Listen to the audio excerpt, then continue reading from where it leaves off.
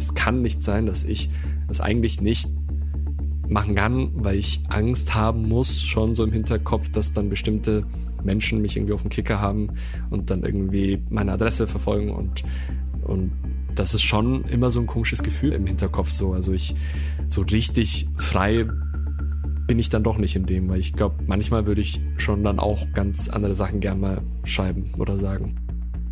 Ous Yilmaz ist 30 Jahre alt und gehört schon seit mehr als 10 Jahren zum Inventar des deutschen Internets. Hunderttausende folgen ihm auf Instagram und Twitter. Dort erzählt er aus seinem Alltag, greift aber auch in politische Diskussionen ein. Auf seinem Instagram-Account finden sich Statements gegen Rassismus und Polizeigewalt sowie für die Klimaschutzbewegung Fridays for Future. Er war Mitglied von Waititi, einem Comedy-Trio, das mehrere Jahre lang den erfolgreichsten YouTube-Kanal Deutschlands betrieben hat. Ich habe mit Ois Yilmaz darüber gesprochen, wie er vom Quatschmacher zum Influencer mit politischer Haltung geworden ist und warum er trotzdem nicht immer alles sagt und schreibt, was er denkt. Außerdem hören Sie in dieser Folge zwei weitere Stimmen, die mitgestalten, wie und worüber in unserer Gesellschaft gesprochen wird. Den Rechtsanwalt Nico Herting und die Comedy-Autorin Jasmina Kuhnke, im Internet auch bekannt als Quattro Milf. Willkommen beim Stimmenfang, dem Politik-Podcast vom Spiegel. Ich bin Marius Mestermann und ich habe mich gefragt, wer in Deutschland eigentlich in der Öffentlichkeit zu Wort kommt. Und zwar abseits der üblichen Verdächtigen aus Politik und Medien. Damit will ich anknüpfen an die Diskussion, die wir beim Spiegel in den vergangenen Wochen mit unserem Projekt Republik 21 angestoßen haben. Lange bevor ich angefangen habe, als Journalist zu arbeiten, gab es eine Zeit, in der Redaktionen die maßgebliche Instanz dafür waren, wer in gesellschaftlichen Debatten zu Wort kam. Gatekeeping nannte man das damals. Heute spielt das keine so dominante Rolle mehr, denn auf Social Media kann theoretisch jede und jeder ein eigenes Publikum aufbauen. Osilmas und seinen Waititi-Kollegen ist das mit Flachwitzen und Songparodien gelungen. Du musst ja, schon so machen, dass es echt ausschaut. Schaut, schaut's her. Die sie mir reizt! Oh! Dass echt okay. ausschaut? Film mir auch! Ah, das war echt. Okay, sorry. Sieht aber auch aus wie was anderes. Ja. Die sie mir reizt! Okay! Ah! Die drei waren auf YouTube echte Stars, bis sich das Trio 2015 getrennt hat.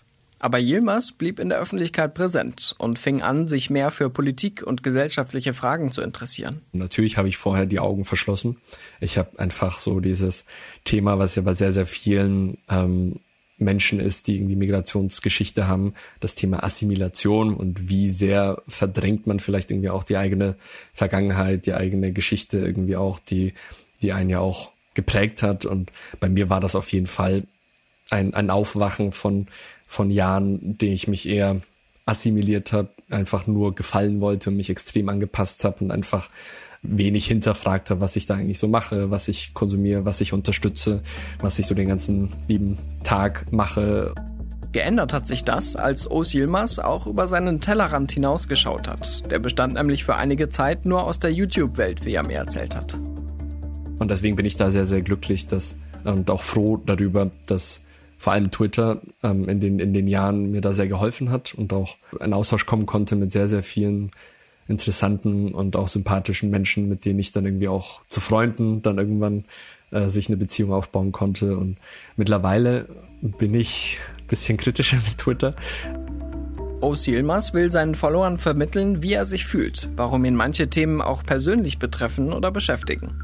Aktuell tut er das vor allem auf Instagram. Seinen Twitter-Account hat er nämlich vorübergehend deaktiviert. Es sei ihm auf der Plattform zu eintönig geworden, hat er mir erzählt. Es gehe fast nur noch um Corona. Weiterhin sehr aktiv auf Twitter ist Nico Herting. Er ist Rechtsanwalt und hat sich während der Pandemie als scharfer Kritiker von Shutdown-Maßnahmen einen Namen gemacht. Als Vertreter von Berliner Gastronomen zum Beispiel setzte er sich im Herbst vor Gericht erfolgreich gegen die damalige Sperrstunde ein. Herting bespielt ein völlig anderes Themenfeld als Oos Yilmaz.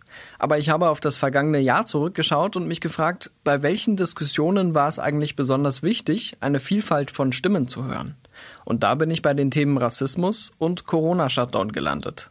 Mein Kollege Sebastian Spalleck hat Nico Herting gefragt, warum er sich eigentlich in die Öffentlichkeit wagt und auf Twitter ständig seine Meinung äußert, vor immerhin 10.000 Followern. Mit einem Anwalt würde ich intuitiv eher Vertraulichkeit und Zurückhaltung verbinden. Aber Nico Herting ist auch als Hochschullehrer aktiv und hat schon vor vielen Jahren juristische Fachtexte veröffentlicht. Das Publizieren ist sicherlich etwas, was, was mir vielleicht mehr Spaß macht, als das bei anderen der Fall ist. Ich glaube, dass, also, dass wenn man Aufmerksamkeit nicht mag, dass man dann sicherlich auch nicht das Richtige tut, wenn man in, in die Öffentlichkeit geht, das ist klar. Also, so, es muss einem schon liegen, natürlich. Uns Juristen wird ja immer vorgeworfen, dass, wir, dass keiner uns verstehen kann. Und da ist auch durchaus was dran. Juristen neigen dazu, Dinge sehr, sehr kompliziert zu erklären. Und ich finde es schon auch wichtig, dass wir Juristen uns auch bemühen, verständlich zu sprechen. Hertings Lieblingsplattform ist Twitter. Dort fänden auch die meisten Online-Diskussionen zu rechtspolitischen Themen statt, sagt er. Vor Corona hat der Anwalt zum Beispiel über das Netzwerkdurchsetzungsgesetz getwittert, das ein juristisches Vorgehen gegen strafbare Inhalte im Internet erleichtern soll. Aber seit Beginn der Pandemie geht es auf seinem Account vor allem um Corona. Man darf natürlich dabei nicht vergessen, dass der Ausschnitt der Twitter-User natürlich nur ein ganz kleiner Ausschnitt der Gesamtgesellschaft ist.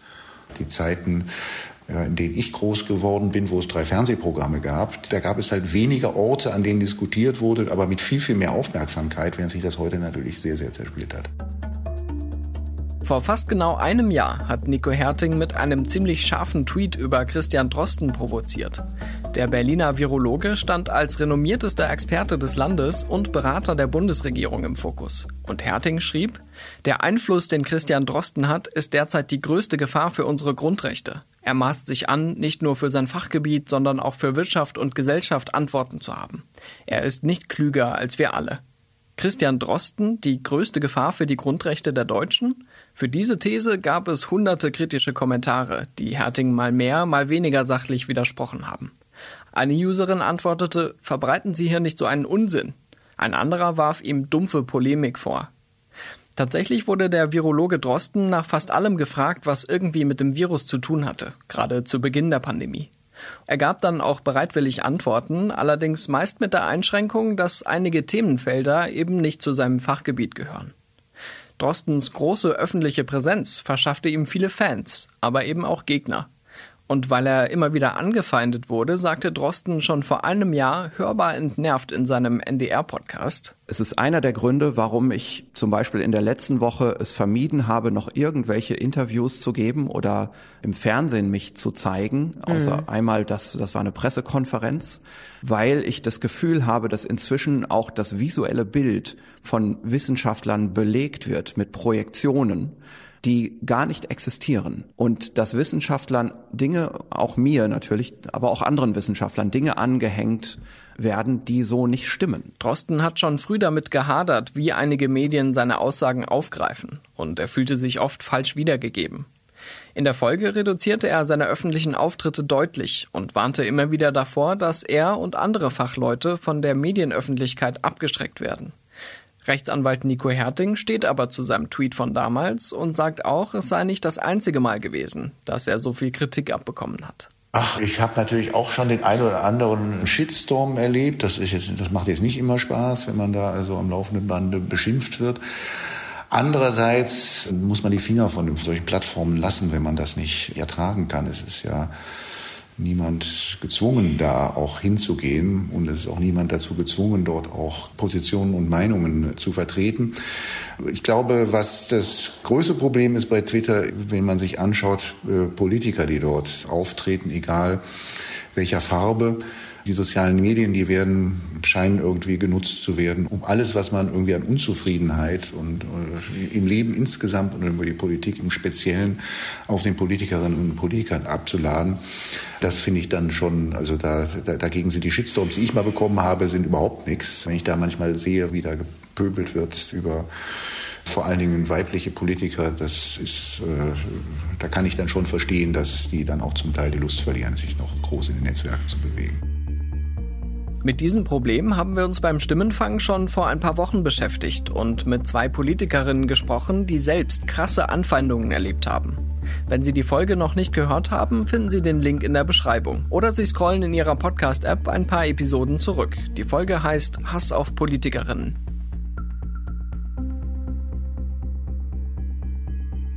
Wer verstehen will, warum sich manche Menschen in die Öffentlichkeit trauen und andere nicht, muss auch über die möglichen Konsequenzen nachdenken. Öffentliche Personen sind schließlich exponiert und werden leider immer wieder zur Zielscheibe von Anfeindungen und Drohungen. Und manchmal bleibt den Betroffenen nichts anderes übrig, als sich wortwörtlich in Sicherheit zu bringen. Die Comedy-Autorin Jasmina Kuhnke, im Internet auch bekannt als Quattro Milf, musste Anfang dieses Jahres mit ihrer Familie umziehen, weil ihre Adresse im Internet geleakt wurde. Es war nicht das erste Mal, dass gegen sie eine Online-Kampagne organisiert wurde, aber es war eine neue Eskalationsstufe. Sie erhielt Morddrohungen, es klingelte ständig an ihrer Tür. Meine Kolleginnen und Kollegen beim Spiegel haben kürzlich über ihren Fall berichtet. Kuhnke setzt sich lautstark gegen Rassismus und Diskriminierung ein. Aber was treibt sie dabei eigentlich an? Ähm, ich glaube, das zuvor herrschende Schweigen. Das bezieht sich auch auf mich ganz persönlich und auf meine Situation ganz persönlich. Ähm, ich habe sehr lange geschwiegen oder Dinge nicht so kommuniziert, ähm, wie ich sie empfinde, einfach um nicht anzuecken, um nicht ähm, aufzufallen oder zu verärgern. Und irgendwann mit dem neuen Beruf hat sich die Möglichkeit ergeben, meine Stimme wiederzufinden. Und ja, die ist offensichtlich sehr laut. Zumindest wird sie so wahrgenommen im Internet. Und ähm, ja, das macht mir Spaß. Und wonach entscheiden Sie, zu welchen Themen Sie sich äußern? Ich glaube, dass es am besten ist, die Dinge zu formulieren, die einen selbst betreffen, die einen selbst beschäftigen, aber auch ähm, sich Gedanken darüber zu machen, wie andere das denn empfinden könnten. Und in meinem Fall sind es ja nun mal oft von Rassismus Betroffene oder ähm, Menschen mit Behinderungen oder queere People. Ähm, also quasi das, was als Randgruppe gern bezeichnet oder wahrgenommen wird. Dabei kämpft Jasmina Kunke oder Quattro Milf verbal durchaus auch mit harten Bandagen und hat im Gegenzug prinzipiell kein Problem mit scharfer Kritik. Das hat sie mir an einem Beispiel aus der Twitter-Welt erklärt. Also ähm, der Hashtag hieß halt die Fresse Jasmina was ja auch völlig in Ordnung ist. Das fällt unter die Meinungsfreiheit und ähm, ich bin da viel entspannter mit, als man glaubt. und also ähm, solange es nicht justiziabel ist, ähm, da waren leider ähm, auch wirklich sehr beleidigende Tweets drunter. Ansonsten fand ich das ganz amüsant und ähm, habe dann halt auch geschrieben, ähm, wo ist denn der Quattro-Mob? Das ist äh, aus einem einen Artikel über mich entstanden. Da wurden FollowerInnen ähm, als Quattromob bezeichnet. Und das habe ich halt übernommen und habe gesagt, wo ist denn jetzt dieser Quattromob? Und wir haben dann, ja, die, die Trends quasi ähm, angeeignet kurz und halt die Fresse Jasmina aus den Trends gekickt. Ähm, das war ganz, ganz witzig anzusehen. Ähm, trotz der in, der in dem Moment wirklich schwierigen Situation, weil das ja innerhalb des Zeitraums war, in dem wir diese Morddrohungen erhalten hatten und es bei uns leider auf privater Ebene sehr eskalativ war, war das äh, doch ganz ähm, interessant zu beobachten. Jetzt ist es bei Ihnen fast schon zum Äußersten gekommen, was diese Bedrohung angeht. Da gab es Leute, die bei Ihnen geklingelt haben oder wo dann Sachen zu Ihrer Haustür bestellt wurden, weil Ihre Adresse plötzlich bekannt war. Können Sie mal beschreiben, wie sich das anfühlt, plötzlich nicht mehr nur im Internet dem ausgesetzt zu sein, sondern auch in der realen Welt vor der eigenen Haustür? Mhm. Also ähm, selbstverständlich bin ich auch in der realen Welt immer ähm, Betroffene von Rassismus.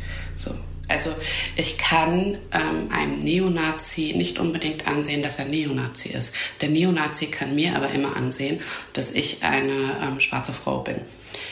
Bedeutet, ich laufe natürlich schon mit einem anderen Bewusstsein für Gefahren ähm, durch die Welt als Nicht-Betroffene. Das ist jetzt aber eine, eine nochmal ähm, extreme Steigerung, weil dieses jemanden wissen zu lassen, wo die Person sich aufhält, wo die Person lebt, ähm, in welchem Radius sich die Person bewegt, ähm, ist schon ein, ein sehr beängstigendes und beeindruckendes Gefühl. Und ähm, damit adäquat umzugehen, wenn man keine Hilfen oder Sicherheiten bekommt, ist durchaus wahnsinnig belastend und schwer. Es ist halt so, dass der, dass der Hass, der, ähm, dieser geballte Hass, der mir im Internet begegnet, plötzlich an meiner Haustür klingelt. Und ich ja dann in dem Moment auch keine Möglichkeit ähm, habe, mich dem zu entziehen. Das ist äh, sehr dramatisch tatsächlich. Das ist es auch, was Os Yilmaz Sorgen macht. Er äußert sich zwar zu vielen politischen Themen, aber er spricht auch nicht immer alles aus, was er denkt. Also was, wo ich mir natürlich aber schon Gedanken mache, okay, wenn bestimmte Wespennester vielleicht nicht zu stark reinstechen und ich will jetzt nicht, dass ich komplett irgendwie, irgendwie umziehen muss und meinen Namen ändern muss und irgendwie äh, auf irgendwelchen Listen von Rechten äh, oder Rechtsradikalen auch stehe. Ich glaube, die Gefahr, wenn man grundsätzlich sich im Internet zu, zu linken Themen äußert, ist, glaube ich, nicht null. Mhm. Das musste ja jetzt Jasmina Kunke erleben, die ähm, auf Twitter sehr aktiv ist. Genau, ich finde halt, es ist dann sehr einfach zu sagen, ja, aber hätte, dann hätte sie halt nicht so laut und da und dann, das ist dann immer die Begründung, dass dann Leute bei ihr die, die Schuld suchen und dieses äh, Victim Blaming, das englische Wort dafür, auch benutzen. Aber das kann ja nicht die Lösung sein. Ich weiß, dass, ähm, dass ich aus Angst davor dann natürlich auch nicht Vollgas gebe, äh, ähm, wenn man das so sagen kann, weil natürlich könnte man mehr und ich könnte dann auch ähm, vielleicht auch im Umgangston nochmal irgendwie was ändern, wenn ich das will und ich hätte auch wahrscheinlich das Recht dazu. Also ich darf mich, wenn, wenn bestimmte Sachen passieren, die nicht allen passieren, das einfach extrem ungerecht ist, dann solange das durch die Meinungsfreiheit gedeckt ist und ich da jetzt nicht bestimmte Personen extrem beleidige oder irgendwelche Sachen mache, die strafrechtlich relevant sind, so darf ich das machen. Und ich, es kann nicht sein, dass ich es eigentlich nicht machen kann, weil ich Angst haben muss, schon so im Hinterkopf, dass dann bestimmte Menschen mich irgendwie auf dem Kicker haben und dann irgendwie meine Adresse verfolgen und, und das ist schon immer so ein komisches Gefühl im, Hinter, äh, im Hinterkopf so. Also ich so richtig frei bin ich dann doch nicht in dem, weil ich glaube, manchmal würde ich schon dann auch ganz andere Sachen gern mal schreiben oder sagen. Das ist ein sehr kritischer Punkt. Wenn Menschen wie Jasmina Kunke und Ois Yilmaz sich politisch äußern und dann so eingeschüchtert werden, dass es nicht nur auf sie, sondern auch auf andere abschreckend wirkt, dann haben wir ein großes Problem nicht nur mit der freien Meinungsäußerung.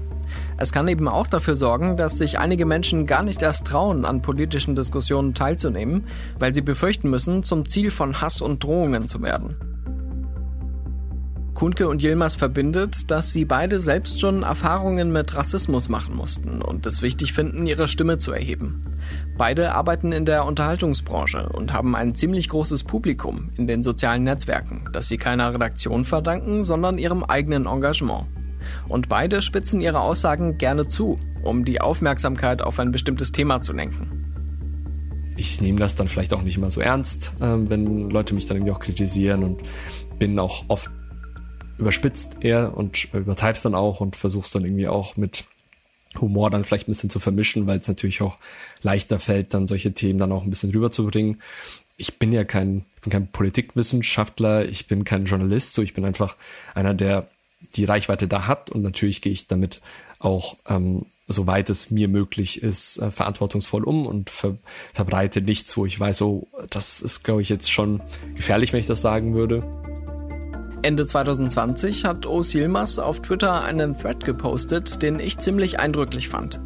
Es ging darum, wie die BioNTech-Gründer und Impfstofferfinder Uwe Shahin und Özlem Türeci in der Öffentlichkeit gefeiert wurden, weil dabei immer wieder ihr Migrationshintergrund betont wurde. Das war, glaube ich, einfach so ein bisschen symbolisch, die, ähm, wie die zwei abgefeiert wurden, dass einfach so, ja, was die für das Deutschland machen und für das Land, dass das so krass ist und äh, so toll, dass die, die diese Migrationsgeschichte, dieser Erfolg und Migration wirkt und was da alles für Wordings benutzt werden, so das regt mich einfach auf, weil ich einfach dann weiß und hatte ich glaube ich auch in dem in dem Thread ja auch geschrieben, so weil mein Papa und meine Eltern sind irgendwie gleich alt und ich denke mir so, die haben auch in den Möglichkeiten, die sie hatten, als sie hergekommen sind, das meist Mögliche für Deutschland gemacht und haben hier, mein Papa hat dann äh, in der Firma gearbeitet und Stahlträger und für Auto, also so viele Autobahnen und Brücken und all, also an so vielen Sachen da irgendwie mit gearbeitet, die auch dank meinem Papa, also was soll er denn dann noch machen? Und das legt mich dann natürlich auch einfach auf, also weil es dann glaube ich auch noch mal,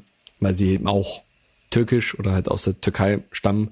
Das war natürlich dann glaube ich noch mehr so diese Identifikation und freue mich einfach, dass das ja, dass das geklappt hat und dass die dass, dass die jetzt auch irgendwie einen Namen haben, den ich auch haben könnte oder irgendwie vielleicht eine Identifikation in den sehe. Vor dem Hintergrund wollte ich von Kunke und Yilmaz wissen, wie sie die Entwicklung der vergangenen Jahre beurteilen. Wird die Repräsentation etwa von schwarzen oder türkischstämmigen Menschen in der Öffentlichkeit besser? Und damit meine ich explizit auch meine eigene Branche. Im Journalismus lässt die Diversität noch ziemlich zu wünschen übrig, auch wenn es da ein Umdenken in der Nachwuchsrekrutierung gegeben hat. Wir mögen keine Gatekeeper mehr sein, aber der Einfluss von Redaktionen auf die öffentliche Debatte ist immer noch beträchtlich. Ich habe auch das Gefühl, dass da noch ganz, ganz viel Luft nach oben ist. Es ist natürlich, es hat natürlich manchmal den Beigeschmack, also gerade nach George Floyd, dass ähm, kamen viele Anfragen, die sich angefühlt haben wie, ach, da ist ja noch dieser eine Schwarze. so um ähm, so, so ein äh, Greenwashing hin zu Blackwashing hin zu Türkei-stämmig äh, Washing ähm, zu betreiben. Ähm, also ein diverses Panel aufzusetzen, hat manchmal so ein Geschmäckle. Ich warte das einfach erstmal ab, wie sich das entwickelt. Denn ähm, es ist ganz wichtig, dass eben da, wo die, wo die Themen gesetzt werden, in diesen Räumen, ähm, das eben nicht nur weiß gelesene, deutsch gelesene, cis-Personen ähm, und heteronormativ ohne Behinderungen und so weiter ähm, stattfinden. Glaube, das ist auch das Problem, das ähm, konservative Medien ähm, besonders haben, weil diese Redaktionsräume gerade feststellen, oha, ähm, die Deutungshoheit liegt nicht mehr bei uns. Und dieser Leserinnenbrief, der ist jetzt öffentlich und jeder kann jetzt und jede kann jetzt sehen, ähm, dass wir da vielleicht ähm, gar nicht mal so gut aufgestellt sind und dass es da Menschen gibt, die die ähm, die gegen diese Deutungshoheit anschreien und sagen, nee, du hast sie nicht. Also das, was früher im stillen Kämmerlein irgendwie passiert ist, wenn ein Leserinnenbrief mit Kritik kam, dann konnte man einen Papierkorb werfen. Das ist jetzt öffentlich und das wird jetzt durch eine breite Masse ähm, wahrgenommen. Das kratzt, glaube ich, an so manchem Ego. Wie hoch der Diversitätsgrad in den deutschen Redaktionen ist, lässt sich nur schwer sagen. Eine Untersuchung des Vereins Neue Deutsche Medienmacherinnen aus dem vergangenen Jahr kam zu dem Schluss, dass die Sensibilität für dieses Thema zwar zugenommen hat, aber von den 126 befragten Chefredakteurinnen und Redakteuren sind die meisten in Deutschland geboren. Nur acht von ihnen oder mindestens eines ihrer Elternteile stammten demnach aus Nachbarländern oder anderen EU-Staaten. Etwas besser sieht es in den unteren Redaktionsebenen aus, wo zunehmend auch Autorinnen oder Kolumnisten mit Migrationshintergrund zu finden sind. Genaue Zahlen erheben die Redaktionen aber nicht. Auch dafür gibt es natürlich gute Gründe wie den Datenschutz, um nur einen zu nennen. Das beschäftigt mich schon jetzt auch so seit ein, zwei Jahren äh, mehr, dass überraschenderweise, obwohl Menschen aus der Türkei oder mit türkischer Migrationsgeschichte, die ja schon echt ein paar Jahre hier sind, in den, in den klassischen Medien und so dann doch relativ unterrepräsentiert sind. Es gibt dann so ein paar äh, ganz doof gesagt, aber vielleicht darf ich das, die Quotentürken, ähm, dann halt irgendwie ein Cem Özdemir und so, die gibt's dann irgendwie und ja, und irgendwie hier und da, Bülent Ceylan, so irgendwelche Leute, aber das ist so wenig, also dafür, dass eigentlich wirklich ein so hoher Anteil an Menschen ähm, hier in Deutschland ist, die aus der Türkei ehemals kommen und hier ihre Nachfahren und ihre Familien haben und auch mittlerweile ja auch in verschiedenen Berufen sind und studiert haben. Und also es gibt ja genug und man es gibt gar nicht mehr auch die Ausrede, die sind alle nur im Arbeiterinnenvolk und die die haben alle gar keine Möglichkeit. Die hätten die ja und ich beschäftige mich schon damit. So, woran scheitert's? Also wo, wo hängen die alle? Was ich vorhin für die Diversität in journalistischen Medien geschildert habe, beobachtet Os Yilmaz auch in seiner Branche. Er arbeitet inzwischen mit seinem eigenen Unternehmen als Manager für Influencerinnen und Künstler. So bei den generellen den Medien oder auch in dieser Werbewelt, Marketingwelt, in der ich unterwegs bin, ist es immer noch schrecklich. Also wenn ich da immer rumgucke, wer diese ganzen Firmen leitet und wer diese ganzen Medienhäuser und alles leitet, das sind alles die gleichen Leute, mit denen kann ich mich absolut nicht identifizieren.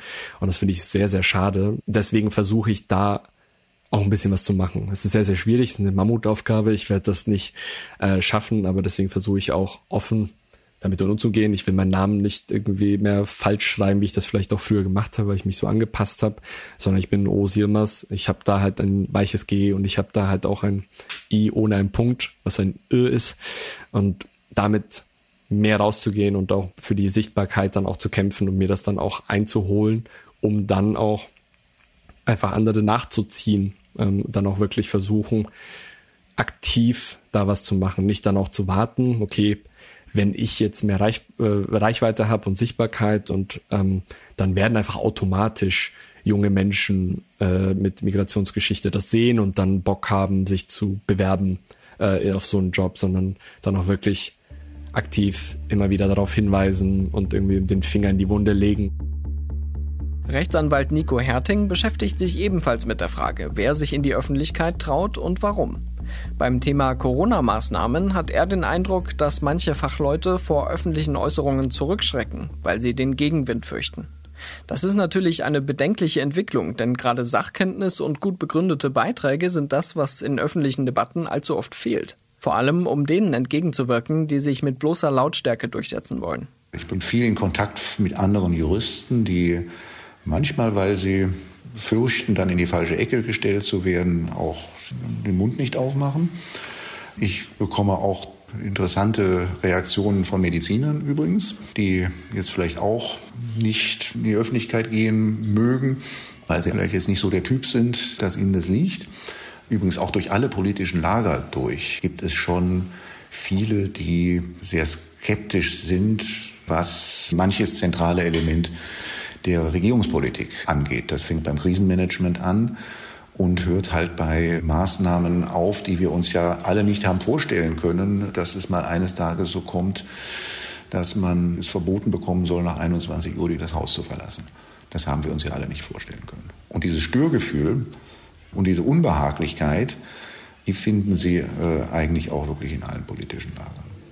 Umso mehr hat Herting für einen kritischen Austausch plädiert und betont, dass Plattformen wie Twitter diesen Dialog auch fördern können. Ich finde nichts äh, ermüdender als Diskussionen zwischen Menschen, die alle, alle mehr oder weniger einer Meinung sind.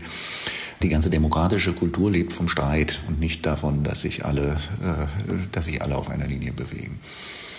Ich wäre beunruhigt, wenn es keinen Widerspruch gäbe. Ich finde das auch gut, wenn es Widerspruch gibt, denn am Streit schärfen sich auch die eigenen Argumente.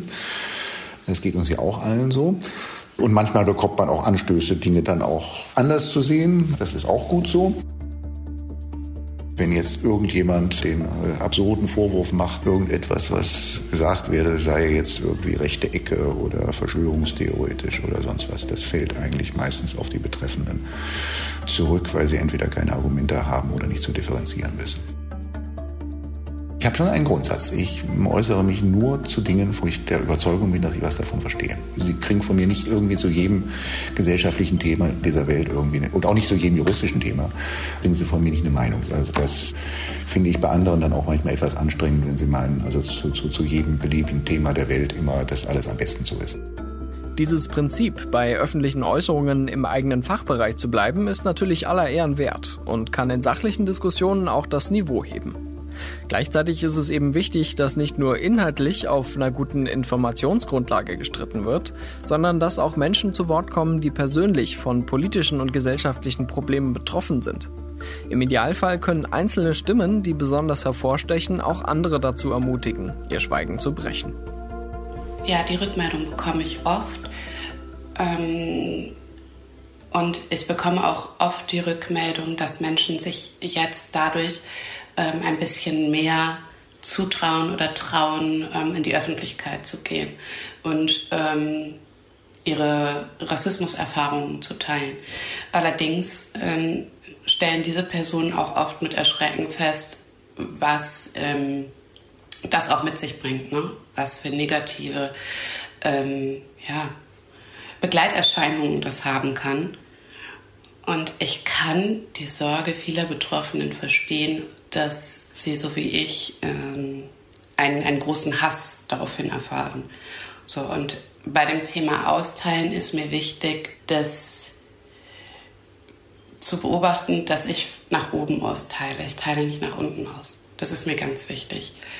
Ähm, ich gehe nicht hin und greife ähm, Personen an, die ähm, ja vielleicht nicht wehrhaft sind oder keine Stimme haben oder ähm, ja, also ich, ich schaue da schon sehr bewusst hin und versuche niemanden irgendwie in, in ein Licht zu rücken, das für ihn oder sie potenziell nicht handelbar ist. Wie wollen wir miteinander reden? Bestimmt nicht so, dass andere Menschen sich Sorgen um ihre Sicherheit machen müssen. Das ist schon mal eine rote Linie. Es scheint aber so wichtig wie nie, dass wir einander zuhören, andere Meinungen aushalten und kritisch, aber fair diskutieren. Mit unserem Projekt Republik 21 wollen wir genau das fördern. Hier im Podcast haben wir zuerst über die Meinungsfreiheit und ihre Grenzen gesprochen. Dann ging es um die Bedeutung von Social Media für unsere Debatten. Und diese Folge sollte zeigen, warum sich manche Menschen öffentlich äußern und andere nicht, obwohl sie es vielleicht gerne würden. Dabei erhebe ich natürlich keinen Anspruch auf Vollständigkeit, aber ich freue mich umso mehr über Feedback und Anregungen. Schreiben Sie uns gern an stimmenfang.spiegel.de. Das war Stimmenfang, der Politik-Podcast vom Spiegel. Die nächste Stimmenfang-Folge gibt es wie immer am kommenden Donnerstag auf spiegel.de, Spotify, bei Apple Podcasts und in allen üblichen Podcast-Apps.